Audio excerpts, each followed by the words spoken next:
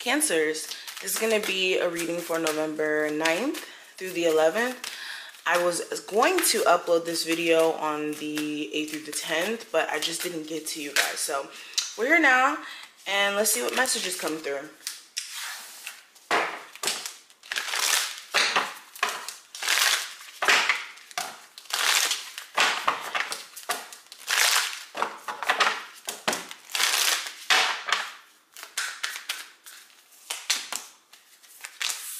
This is also general, so only take what applies and leave the rest.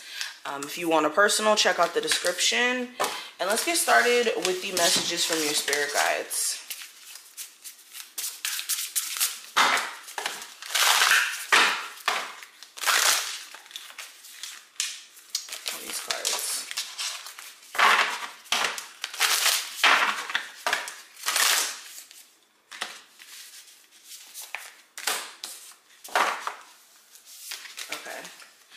So let's get into these first.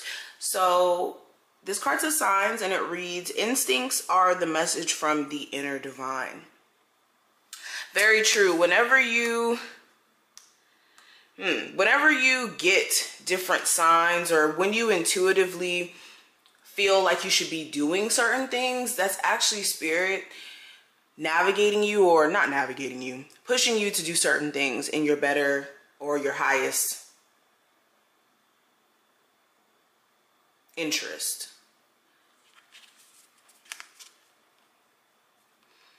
Hmm.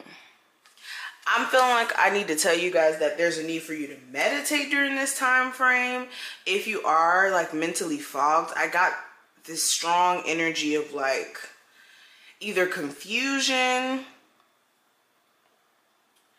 that's coming from you know, inside or confusion that stems from things around you not being completely like revealed to you yet. So this is kind of like sitting in a space of quietness to allow things to come to your awareness. But um, then we also have surrender. And this card reads, sometimes learning to surrender can feel as if you're dying. The ego learns what's hardest, to stop trying to control the whole universe. Yeah, and then this card is putting emphasis on the fact that you guys need to make sure you don't let your mind go into the space of like, I don't know, feeling as if you're on the losing end of your situation because of the fact that you don't really have a lot of control over things that are happening around you, but it's spirit actually coming through and moving some mountains in your life.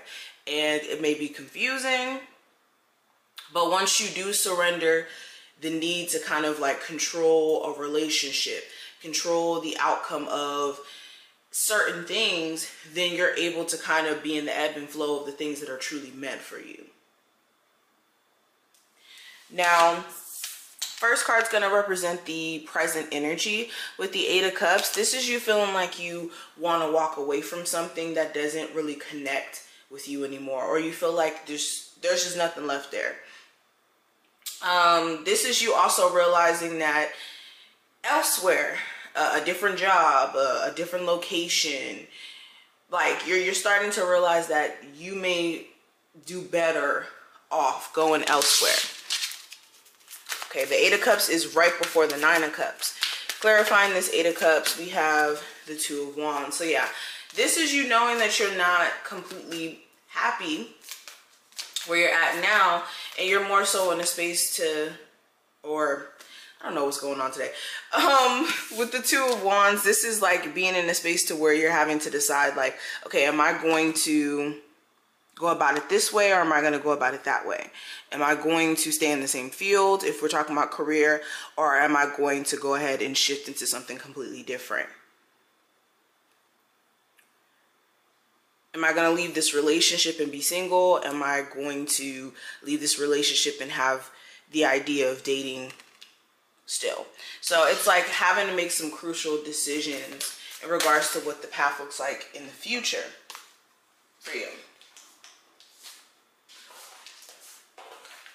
Now, what I see in regards to the recent past, I have the Justice card. So there may have been some legal stuff that you may have had to take care of. Uh, this could be really anything. Um, But this could also be, if not legal stuff, this is like karma that may have played out. Where you got to see someone who may have wronged you, their direct karma, or there may have been karmic events that you guys may have recently went through. Clarifying this justice card, I have the four cups. So yeah, there may have been a karmic experience that you went through and you may have been a little bit dissatisfied with how things played out. Yeah, strong karmic energy around someone who's a friends with benefits or someone who you're interested in, but they're not really reaching their full potential quite yet.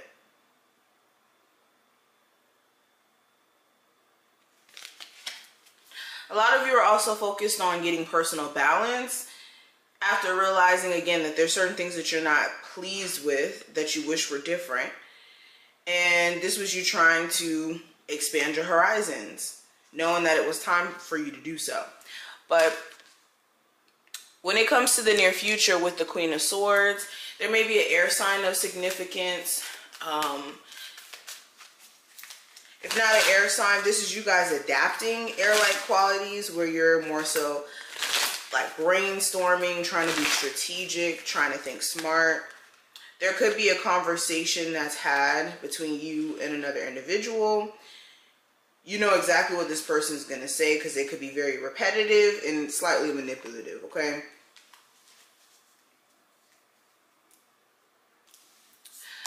But advice with the Page of Cups, there's a need for you to kind of get a grip on personal emotions. Um, and when I say that, this is like making sure you're not easily triggered by outside people. and also kind of being self-aware of your emotions and how it kind of correlates with love. Like some of you, I'm gonna be honest, it's like you want new love in your life, but you could be falling for people who know how to say all the right things and make you feel good. But when it comes to them having long term potential, it's like making sure that you evaluate them for that as well.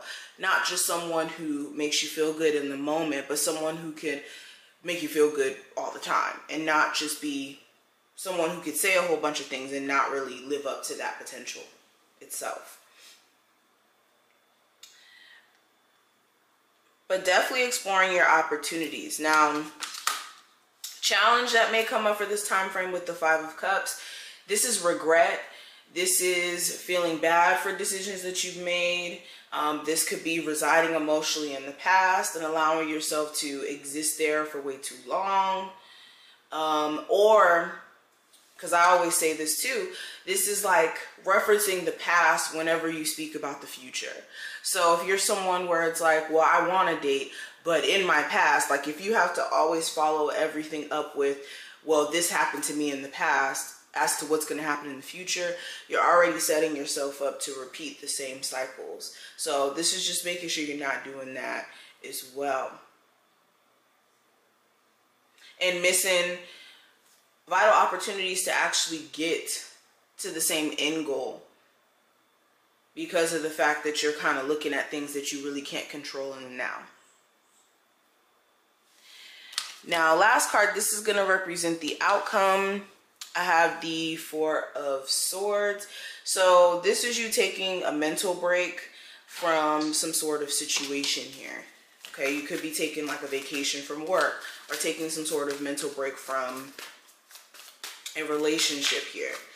Um, for some of you, you more so have a lot on your mind during the end of this time frame. You could be like taking the time at night to kind of like try to